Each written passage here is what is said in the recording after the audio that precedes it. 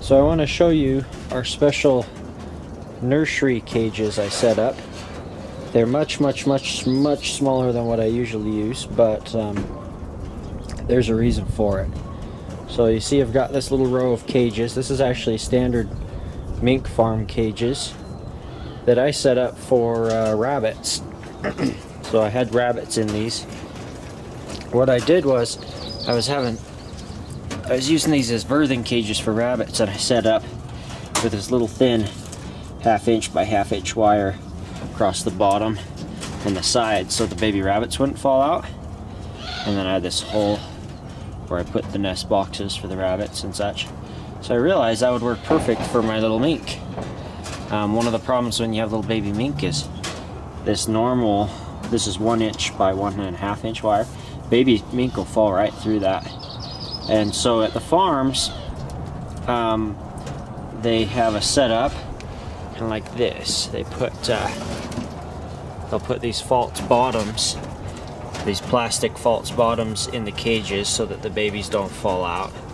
But then they have to spray the cages out. You see they've got poop accumulating. And so um, I have to spray these out too, uh, twice a day. But the farms, they can't get to them that often because they've got thousands. Hey, stay down. Stay down, sweetheart. Stay down, thank you. Um, but uh, it protects the babies from falling through the bottom. So I, hey, stay down. Don't get in a fight with your neighbor. I set it up kind of a double protection. I've got the wire along the edges so they don't climb out. And then I put this plastic in, not so much because they're gonna fall through because I've got that wire at the bottom as well. Hey, stay down. Stay down. I've got this wire on the bottom, but I wanted them to have a little softer place to walk around on, not as harsh as the wire. Hey, stay down. Get back here. Okay, so I caught the shishi again, silly mink. But you see, another thing about this setup is the water cups are just right.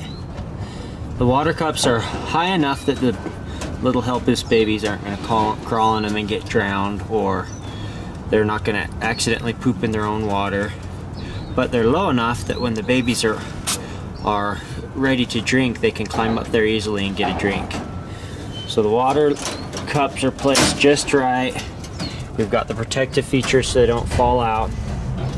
Another thing about this setup is it's in the shadiest part of the yard. See right now, it's the cool of the morning and that's the most sun they're ever gonna get. And that's important because the baby mink are, are pretty uh, sensitive to heat. Actually, what's more sensitive is the mamas are sensitive to heat. So what happens is the mother mink get uncomfortably warm. So instead of laying with their babies, they lay out on the pen to keep cool and uh, the babies get dehydrated from not getting enough milk.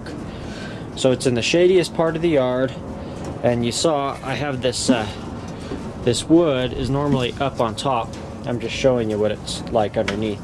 That that provides protection from the weather, rain, and and uh, the sun doesn't shine down here anyway. But I guess additional sun protection.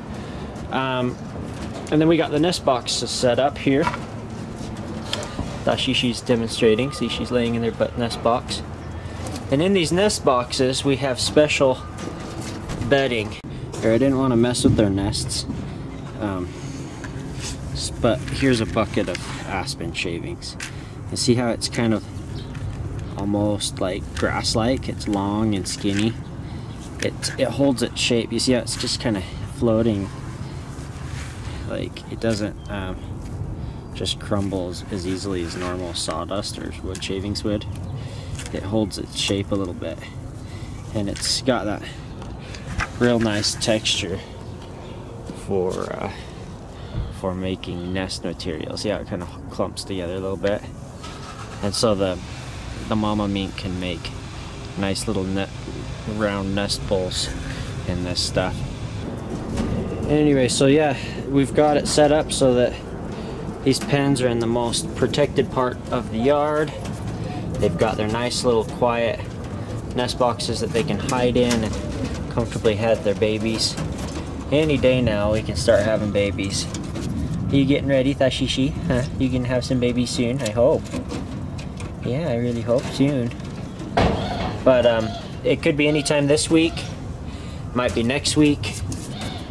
Could even be the week after. Like I said, mink, uh, even when you put lights on them, it doesn't guarantee the day they're going to have babies because of that delayed implantation I explained about in my last video. So there they are with the roof back on, their little privacy and shelter, so they can have their little babies. And then as soon as the babies are big enough that they can't fit through this wire, um, they can kind of climb around and stuff and they're not going to fall through the wire, then I'm going to, I'll leave them in the same cages, but I'm going to put some runs on the cages because I don't, I don't like leaving the mamas in these little tight cages or any mink in these little tight cages, but it's necessary in my opinion for the safety of the babies right now when they're little. And as soon as the babies are bigger, we'll put them in bigger cages so that the mamas aren't so crammed and the babies can start exploring a little bit. Um, so yeah, that's the plan. Fingers crossed we'll have babies in the next few days. We'll have to wait. It might be a couple weeks from now. You never know. Anyway, stay tuned. I'll keep you guys posted.